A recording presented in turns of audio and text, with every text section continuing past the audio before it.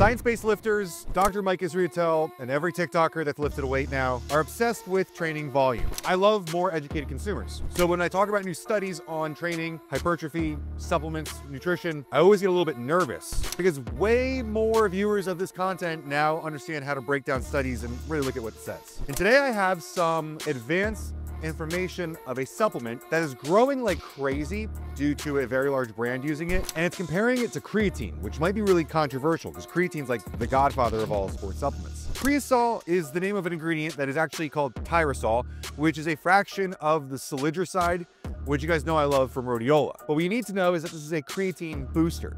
We formulated this into Bucked Up's Black Ant, and it's one of the reasons why people are getting so much stronger when they use it. But new data that's not out, but what I've been given information on tells us something that we haven't seen before. A five times increase in work volume as compared to creatine alone. So creatine already improves work capacity, but now this ingredient being added in improves work capacity even further. We can train harder, which means we can get back in from that harder trainer quicker, and which means that the adaptations will be coming faster. Adaptations meaning increases in muscle mass and strength. Now, when this full data comes out, I'll do a full breakdown and we'll go over all of it. But let me know below. Do you use creatine every single day? And how does it affect your work capacity?